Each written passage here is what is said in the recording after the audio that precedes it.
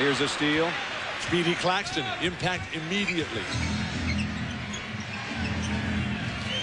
Depth at guard is a huge factor for San Antonio here. Rose the kick out. Ginobili's wide open for three. Oh, what a Almost pass. missed What a pass.